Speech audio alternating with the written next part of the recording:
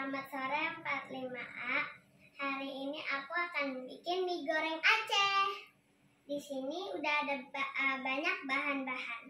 Pertama, bahan dasarnya itu ada mie basah, daging sapi dipotong tipis, eh, tomat satu buah, bawang merah 5 butir, eh, dan juga bawang putih 4 butir. Di sini juga ada tauge, kol, caisim, daun bawang, kaldu sapi, kecap manis dan juga kecap asin.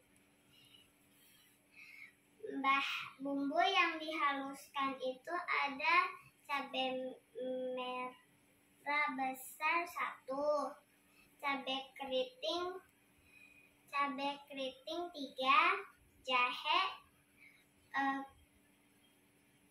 kemiri tiga butir, dan juga kunyit, dan juga ada lada,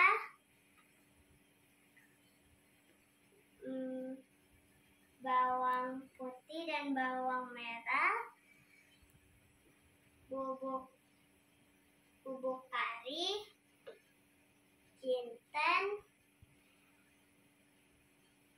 ketumbar, dan juga minyak. Bahan pelengkapnya ini bisa dipakai, bisa nggak dipakai. Jadi di sini ada emping, acar bawang, timun, dan juga kacang goreng. Ayo, eh, ini bahan-bahannya. Ki- yuk kita